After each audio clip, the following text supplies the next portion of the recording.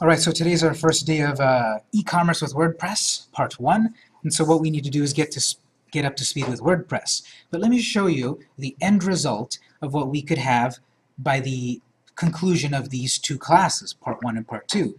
As I said, I, in addition to teaching, I'm also part of a company where we do websites, where we do social media, where we do photography, etc., etc. So I'll show you here an example of a real client that we have that is one of our most full-featured clients.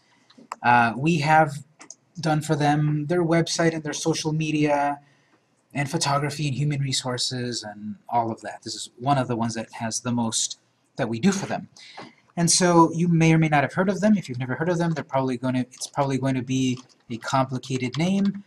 The website is aquiestexcoco.com. You can do this if you'd like. You can open your web browser also and take a look at this. Open up any of your favorite web browsers. We've got them all. Go to A Q U I E S T E X C O C O, aquiestexcoco.com. This is a website that we built for them in WordPress. The website has original photography, which we did for them. It has blogs, which we write for them. It has um, social media, which we do for them. It has videos. Uh, and it has an e-commerce component. It sells stuff online. So if you check out the site, aquiestexcoco.com, this is a restaurant, Mexican food restaurant that started in Tijuana in 1990. They came to the US in about 2008, I think. We started to work with them in 2010. And then uh, in 2014, they expanded from San Diego to Los Angeles. They've been doing pretty well. They've also been featured on television. They've been on various cooking shows for the Travel Channel and Cooking Channel. They've gotten some pretty good fame. And so this is a WordPress site. Um, WordPress is very powerful software in that it can create just about any kind of website, beginning, intermediate, advanced, super advanced, basically. And on this particular site, you see a lot of the hallmarks of a modern website, photography that catches your attention, blogging, which is useful for SEO, events, galleries and slideshows, contact forms, and all of that. And you can do all of that with WordPress. So WordPress is software to make websites. And the great thing about WordPress, one of the great things, is its price. It's very affordable at zero dollars. WordPress doesn't cost anything. WordPress software doesn't cost anything, but it still costs money to have an online presence, which we'll get to in detail later. But to have your own little piece of the internet, to have your own .com, .net, .biz, .co, .us, whatever, to have your own website, that is a cost. And we can look in detail later how much it costs, but it's going to range between really, really, really cheap $20 a year to $120 a year. There's a big range. Uh, most of the sites that we set up are costing around 60 to $70 per year. That's how much the owner of the company pays to be online. That doesn't include any of our photography costs or social media costs or web design costs. It's just how much does it cost to be online, to have your own website. I'm going to say between 20 and 120. Realistically, 60 to 70 to 80 dollars per year which is not a big investment because if you're selling products online, you'll probably make it up relatively quickly, hopefully. So this site then, they have order online, and they're expanding their online ordering features. Right now, it's a bit more of a uh, order online for pickup. They don't deliver yet. That's coming very, very soon. But they've got more of a order online and pickup. So if you want to check this out, you can click on Order Online at the top right. And because they have two locations, it's first going to ask you, are you in Los Angeles or are you in San Diego? So if we're in San Diego, you click on that and it'll show you the menu. Tortilla soup, tacos, mixiotes, enfrijoladas, etc. let's say lunch is coming up and such, we want to get a, a class set of tortilla soup. So we have the option 10 ounces, 20 ounces. Let's say 10 ounces. Let's say there's 30 of us. I want 30 of them. They're 385 each. Add to cart. Then I can continue to to shop or go to the cart. If I go to the cart, go to checkout, continue shopping. If I go to checkout, it's then going to go through the process of a, of a normal e-commerce site. Here's what you bought, make any updates, tax, total price. And because, like I said, this is more for pickup than actual delivery, here you specify when are you picking this up, any, any other options, meat options and so forth, your name, billing information and so forth, and then it goes on to purchase. So this is as far as I'll go here, but is a fully functional, fully active site that, that uh, run, uh, gets some good revenue, where they're selling food online. This, uh, everything that this site is, basically, we'll learn in this two-month class. If you've never used WordPress, you're going to be able to make great-looking websites like this. Uh, if you are more interested in the e-commerce, you'll be able to have a fully uh, set up and detailed uh, shopping cart and catalog online. We saw here we have photos of the products, of course. You can zoom in to see larger versions. We have these which are known as variations, 10 ounce, 20 ounce, soft taco, hard taco, quantities, combos, we can have coupons, all of that. Uh, your product may be more because they don't because this is food it's perishable it's not shipped uh, it's for pickup. But let's say you've got products you want to ship throughout the US or the world we'll be able to do that. Let's say you've got uh, services. Let's say you're selling your your your you know your speeches. You're selling you know um, what am I getting at? You're selling um, you know lectures and so forth. We can sell that. Uh, let's say you've got real or virtual goods, virtual goods, songs, uh, videos, ebooks. So you'll be able to sell real or virtual products, goods and services. You'll be able to do um, charity and donation types of products. So it's very full-featured what we'll be able to accomplish in this class. Being able to sell just about anything. Um, at our own discretion. So I'm going to I'm going to bring up this client as the example of what we're working toward. I'll mention a couple of other ones here also. You can go look at Elena. Um, suddenly blanking. Uh, no, Elsa. ElsaValencia.com. Uh, Elsa is an up-and-coming jewelry designer. She makes her own uh, jewelry, gold jewelry, uh, in her studio and sells these one-off pieces. She's also got a WordPress site. She's also got an e-commerce component. Notice the design of the site is different, much more subdued. Still an emphasis on great photography, She's got a blog also, and then she's got the products. You can go to the shop. There's a wish list. Uh, my account for it to save your information for future purchases and such.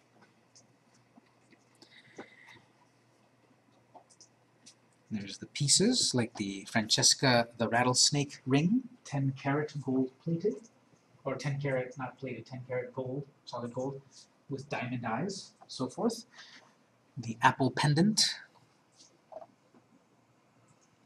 etc. So, same sort of thing. You could say add to cart. The design of it is a bit different than Texcoco, but still it's e-commerce, it's still WordPress, it's still what we're going to learn. Yes. Yes, definitely. Like. Is that, um, is that done through WordPress or are they integrating like Blueberry or some other type of slider applications from the beginning? Like you you have so many options with WordPress. Uh, you can do you can do many you can do the same thing many different ways. These uh, sliders, off the top of my head, I don't remember their names, but they're usually plugins. So we'll talk all about plugins, of course, and um, I can look up the exact ones that they use in case you're interested in it as well. Yes, I forgot to say if anyone has any questions during the lecture, uh, feel free feel free to ask. Um, so same sort of concept. Here's my product. I want one. Now let's get two. So I add two. Proceed to checkout, and then it goes to the whole checkout system. Accepting credit cards, Visa, Mastercard, etc. PayPal, every everything basically. These items are shipped throughout the U.S. So then, so then there's a shipping aspect of it all and then the item is shipped off and uh, and then you get it and you're happy.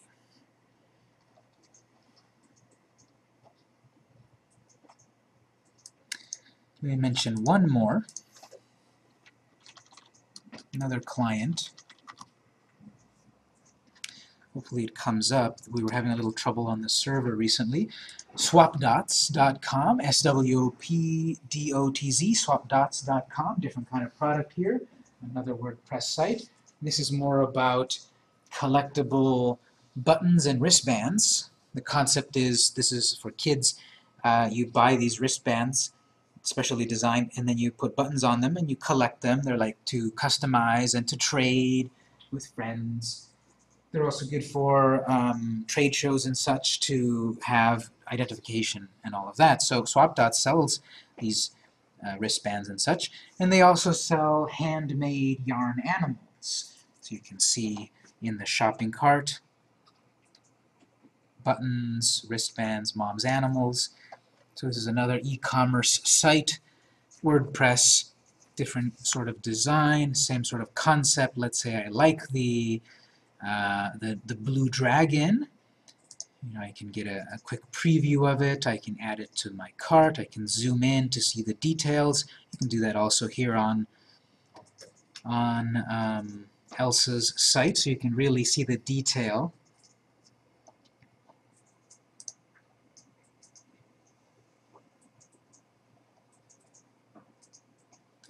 So you can do this zoom in. Add to cart, share on social media, related products. So there's a lot to e-commerce.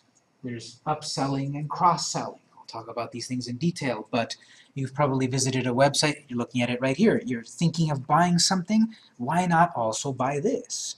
Or maybe you're about to buy something, but why not pay a little bit more for something better? That's cross-selling and upselling. We'll be able to do these things on our sites.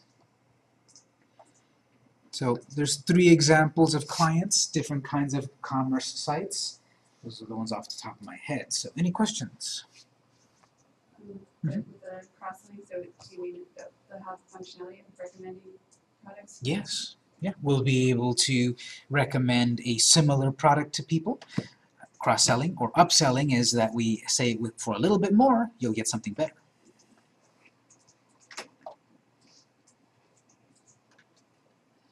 So these three examples are, are what we're going toward, what we'll be able to accomplish definitely by the end of the second month, because we need to have experience in WordPress, first of all, before we can add e-commerce.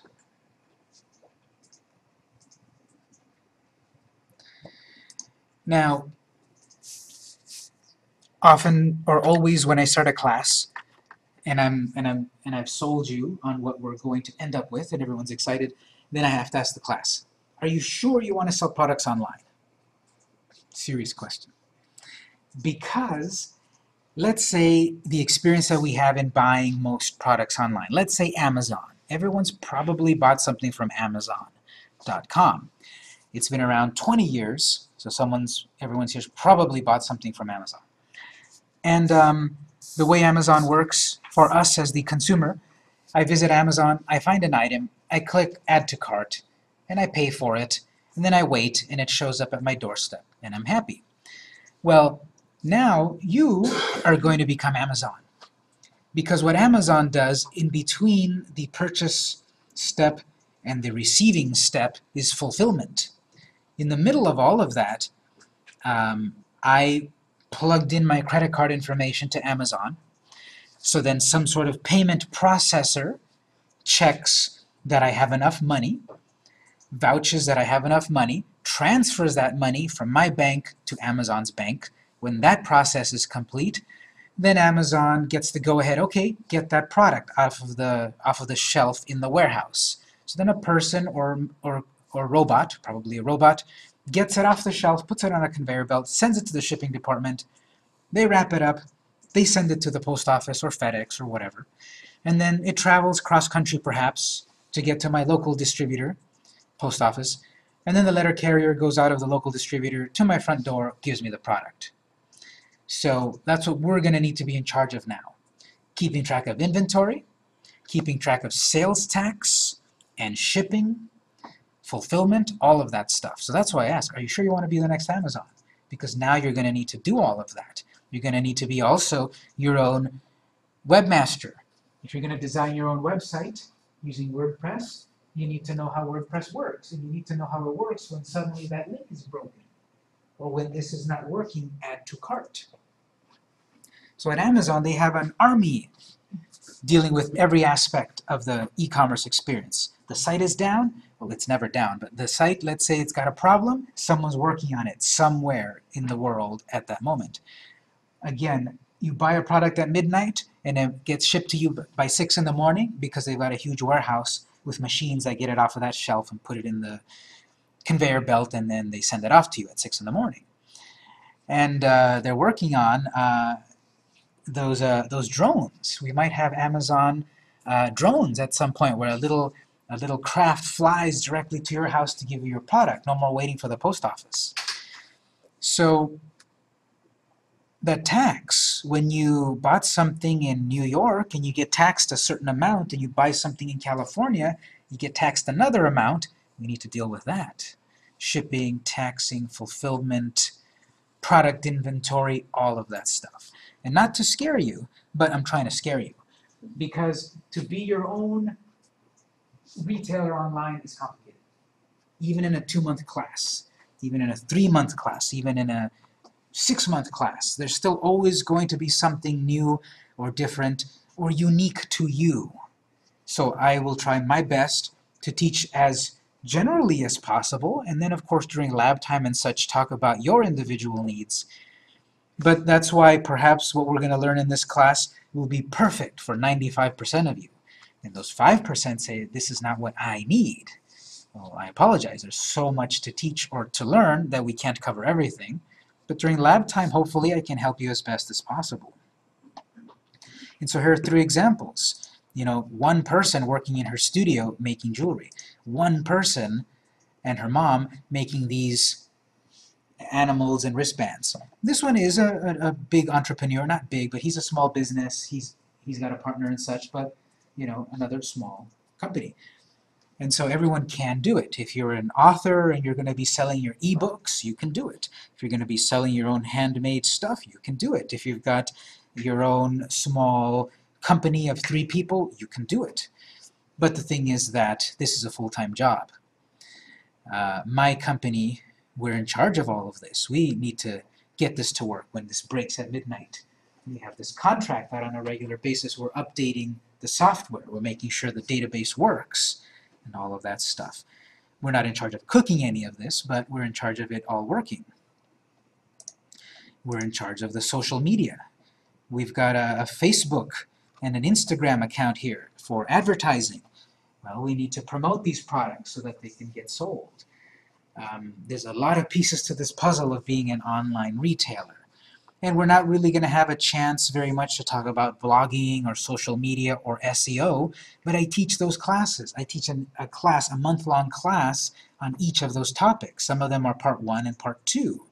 It's a big puzzle, but the great thing is that it can be attainable and it can be uh, it can be pretty inexpensive to do it all.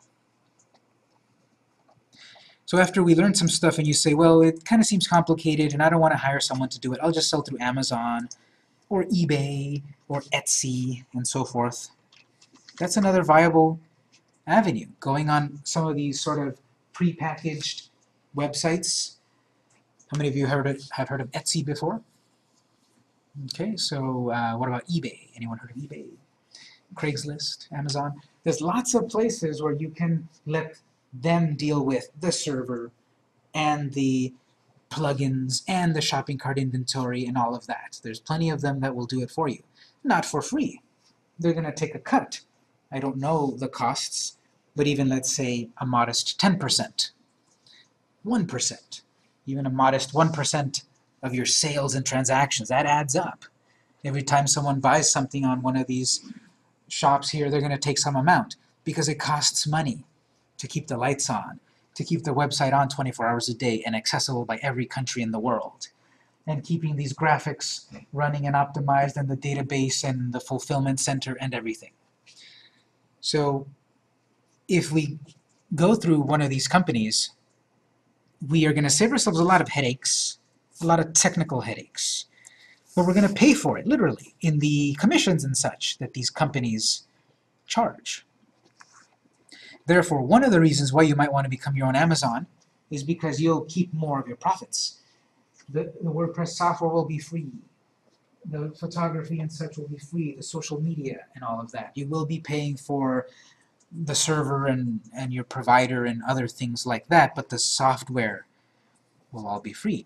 And you will also have to pay for the payment gateway. There's really no way around selling things without a middleman.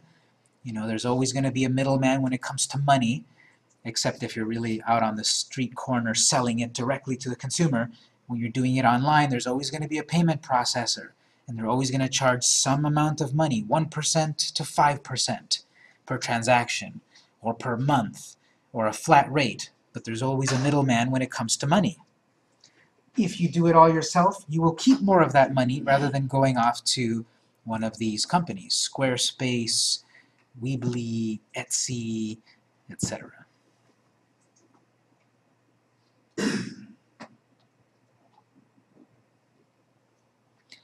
And so be, before we get ahead of ourselves and have this fully functional e-commerce sites with all its pluses and minuses, we need to talk about WordPress, setting up WordPress. So we're going to shift gears. We're going to take a break, our first break, and then when we come back, we'll, uh, we'll actually get started in doing something. Any questions before the break? Okay, so I'm going to turn the printer back on. It's 126. We'll be back at 136. What you want to do is make sure you've enrolled. That is, you took the sticker sheet and enrolled on the website. If you didn't see me, you also want to make sure you signed in on the pink sheet. Let's be back at 136.